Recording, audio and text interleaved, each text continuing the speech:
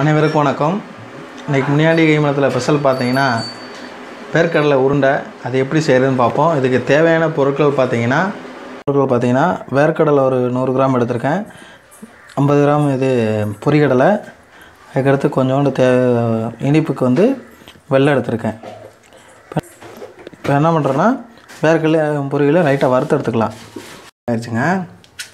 இப்போ ரெண்டையும் வறுத்து எடுத்துக்கலாம். லைட்டாக வறுத்து எடுத்துக்கலாம். லைட்டாக வறுத்து எடுத்து அந்த தொலியை நீக்கிடுங்க.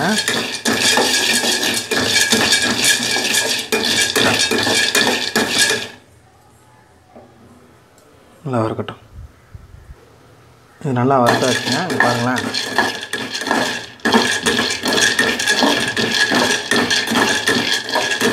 நல்லா வறுத்தாச்சு. செம்மையாக வறுத்தாச்சு. அப்படியே இறக்கி வச்சு தொலி எடுத்துடலாம். இறக்கி வச்சிடலாம். தொலி எடுத்தாச்சுங்க. ஸ்வீட் வெல்லமும் என்ன பண்ணிக்கிறோம்? மிக்சியில் நல்லா சேர்த்துக்கிறோம். அரைச்சிடலாம். வேர்க்கடலையும் வெள்ளத்தையும் ஒன்றும் சேர்த்தாச்சு. இப்போ மிக்சியில் அரைச்சிடலாம். பாருங்க நல்லா மாவு அரைச்சாச்சு பாருங்கள் வேர்க்கடலை மாதிரி அரைச்சாச்சு. இது நம்ம சின்ன சின்ன உருண்டையாக உருட்டிக்கலாம். நல்லா சின்ன குழந்தைகளுக்கு பெரியவர் மூலம் எல்லா பேரும் சாப்பிட்லாம். பாருங்களேன் இந்த மாதிரி.